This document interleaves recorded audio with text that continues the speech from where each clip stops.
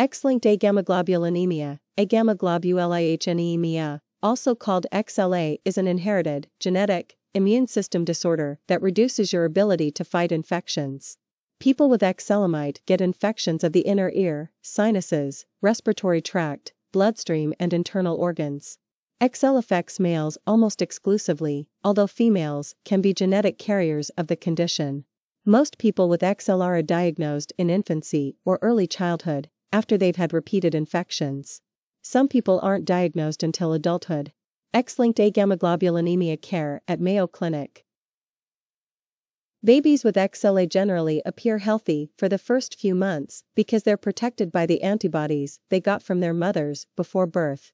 When these antibodies clear from their systems, the babies begin to develop often severe, recurrent bacterial infections such as of the ears, lungs, sinuses, and skin that can be life-threatening. Male infants born with XLA have very small tonsils, small or no lymph nodes.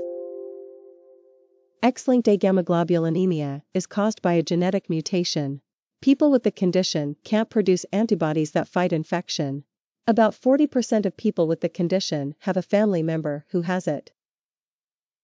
People with XLACN live relatively normal lives and should be encouraged to participate in regular activities for their ages. However, recurrent infections related to XLA will likely require careful attention and aggressive treatment. They can cause organ damage and be life threatening.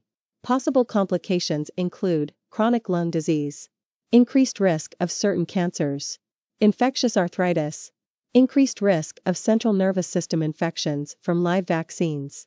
X-linked agammaglobulinemia care at Mayo Clinic.